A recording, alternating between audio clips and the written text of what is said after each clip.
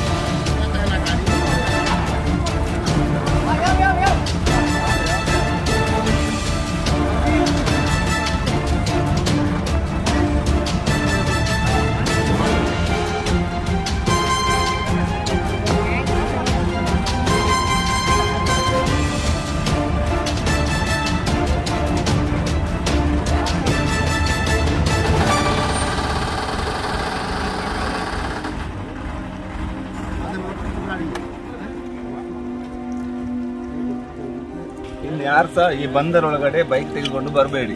ಮೊನ್ನೆ ಒಬ್ಬ ನೀರಿಗೆ ಬಿದ್ದು ಮೃತಪಟ್ಟಿದ್ದಾನೆ ಇವತ್ತು ತುಂಬಾ ದೊಡ್ಡ ದಪ್ಪ ಇದ್ದ ಹುಡುಗ ಅವನು ಬಿದ್ದಿದ್ದ. ಏನೋ ಸ್ವಲ್ಪ ಈಜಲಿಕ್ಕೆ ಬಂದ್ ಬರ್ತಿದ್ದೆ ಅದರಿಂದ ಬದುಕಿದ್ದಾನೆ. ಇಲ್ವಾ ಒಂಚೂರು ನೋಡಿ ಇವರು ಏನು ದೇವರ ಆಯುಷ್ಯ ಒಳ್ಳೆ ಇವತ್ತು ಬಿದ್ದು ಇಬ್ರು ಒಟ್ಟಿಗೆ ಬಿದ್ದಾರೆ. ಬ್ರೇಕ್ ಅದಕ್ಕೋಸ್ಕರ ಬಂದರೊಳಗಡೆ ಈ ಧಕ್ಕೆ ಒಳಗಡೆ ಯಾರು ಬೈಕ್ ತರಬೇಡಿ. ಯಾರಾದ್ರೂ ತಂದ್ರೆ ಏನಾದ್ರು ಅನಾಹುತ ಆದ್ರೆ ನಾನೆಂತೂ ಖಂಡಿತವಾಗಿ ಬರೋದಿಲ್ಲ. ಯಾಕೆಂದ್ರೆ ಇದ್ರ ಇದು ತುಂಬಾ ಕಷ್ಟ ಇಲ್ಲಿ, ಜಾಗ ಇಲ್ಲ, ಸ್ವಲ್ಪ ಜಾಗ. ರಾತ್ರಿ ಹೆಚ್ಚು ಕಮ್ಮಿ ಆದ್ರೆ ಒಂದು ತಿಂಗಳ ಮುಂದೆ, ಮುಂಚೆ ಇಲ್ಲೊಬ್ರು ಬೈಕ್ ಸಮೇತ ನೀರು ಬಿದ್ದು ಮೃತಪಟ್ಟಿದ್ದಾರೆ. ಇವರು ಆಯುಷ್ಯ ಅವರ ಅಪ್ಪ ಅಮ್ಮ ಮಾಡಿದ ಒಂದು ಒಳ್ಳೆ ಹೆಸರಿಂದ ಇವರು ಏನು ಬಲಿತಿ ಮೇಲೆ ಬಂದಿದ್ದಾರೆ.